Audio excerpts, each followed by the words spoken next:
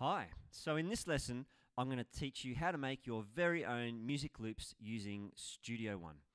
So I have a fresh song here open, ready to go, uh, and what we need to do is drag a new instrument into our Studio One panel. So over on the right hand side here we have instruments. You can get into it either this way or you can get into it using the tab at the top. If you're missing this panel altogether, it's just the browse button in the corner, brings that panel up. And the instruments I'm going to be using today are the Presonus Presence instruments. The reason I'm using those instruments is because they are the free ones that come with Studio One Prime.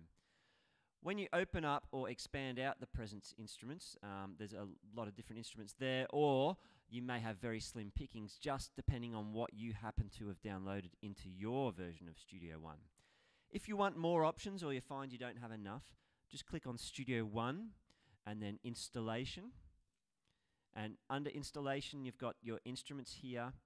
There's the Presence uh, library. And different ones will be available depending on which version of Studio One you're using.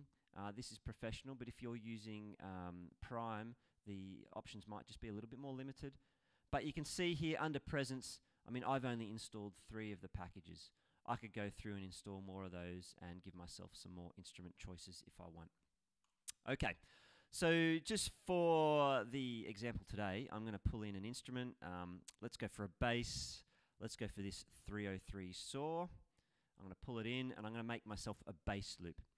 Now when you pull in the instrument, obviously it's a bass and, and you get all this stuff which can be daunting as a first time user and you don't really need to touch any of it if you're happy with the initial sound. You can play the keys just using your um, mouse here. Obviously, using a mouse trying to play music in is, is not particularly effective and not the ideal way to do it. Um, so we're going to use the laptop keyboard today. So if I press caps lock, up it comes, and now I can use those keys on the keyboard. It's a lot easier. Okay. Um, I can also sustain the notes, which is like the um, pedal on your piano, if you like, and it will hold those notes on. Okay, I can also bring the octave, the octave here lower if I like. So I can go to C2. I can take it even lower, C1. Just depending on what you want to do there. And that is the basics to be able to record our loop. So now I want to record something in. I'm just going to move this one out the way a bit. I can actually close that altogether. I don't need it for the moment.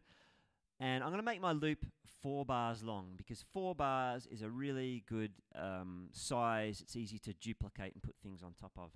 If your song is in um, 3-4 time, then you might want to do three bars instead of four. Up to you.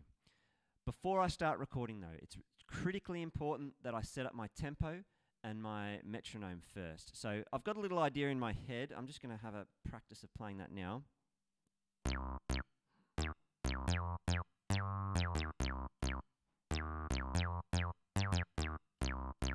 All right, and then I'm I've got a tempo in my mind now. So, dun, dun, dun,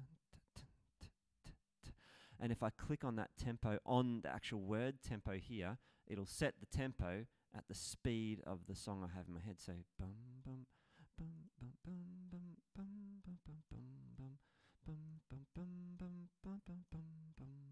All right, so I'm hovering around 135 there.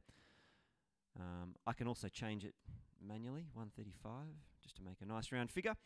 And then it's critically important when I make my loop that I do it to the metronome. Because if it's out of time and then I duplicate it and use it all over my piece, and it's always going to be out of time, and that will be annoying. So I always use a metronome. I can adjust the volume of my metronome here. Um, the accented beat is, is beat one. And then I always put a pre-count, which just gives me two bars after clicking that record button to get ready, get my fingers in the right spot so I'm ready to go. So I do a pre-count. I'm going to do a pre-count of two bars. That means I'll have one, two, three, four, two, two, three, and then start. Um, just gives me that little bit of time. I can close that now. Metronome's on, I can see because the metronome icon is blue there. And we're ready to go. Here we go.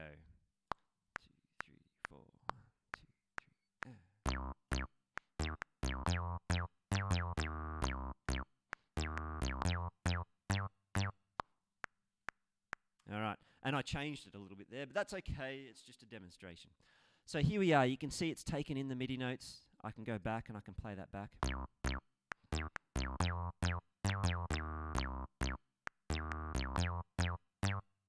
There we go. And notice how it, um, whilst I was still recording out here, it's automatically, because there's nothing in there, it's automatically cut that back to that bar exactly, um, which was exactly what I want. If you go a little bit over, you might want to crop those notes so that your loop is exactly four bars. Because once your loop is exactly four bars, I can right click, duplicate, and I can make as many copies as I want of that. With the duplicate button, um, that's also got a quick key of D. So I use D all the time. So D, D, D, D, D. And then I've got this ongoing loop that I can use throughout my song. And the great thing about doing this using MIDI is I can then I can change the instrument to something else. I can go fiddling with the sounds or how it sounds in here.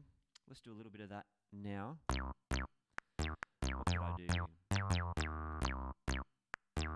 So I could change the attack, which is how quickly the note comes on. There we go. See how that sounds?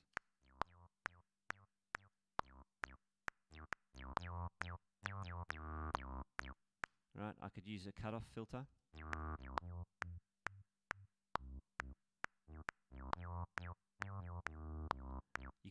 Spend hours playing with this stuff.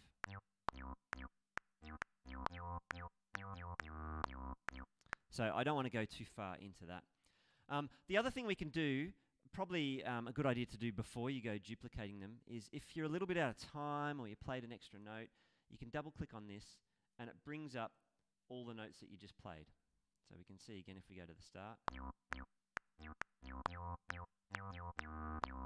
And it has this funky grid, and the grid helps me see how close the notes are to being in time. So you can see this one is just slightly off. It should have been on that line. Now, it just depends how much humanness you want in your song um, or how robotic you want it to sound. I mean, if you could put these all, you could make them all exactly precise where you want them. Um, but then you're going to get a more robotic sound. But you might want something that sounds a little bit more human, so you might want them to be that little bit off, and that's okay. Let's see how that sounds.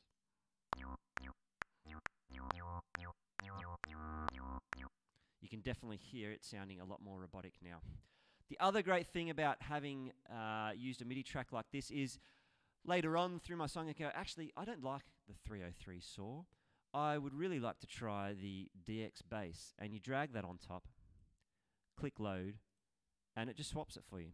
And you've got the same riff that you just recorded, just in a different sound. Oh, I don't like that one either. I can swap it to something else. Actually, that sounds really funky. I like it. So it's really um, flexible like that. Just be aware, notice it's left the same name, 303 Saws. Um, really, that's just a title now, so it doesn't matter. I could, I could call that whatever I like. Um, all right, and that is making loops. You can now go and layer loops. You can put, um, you know, your drum kit on top of that, and whatever you like. Well, I hope you enjoyed that lesson.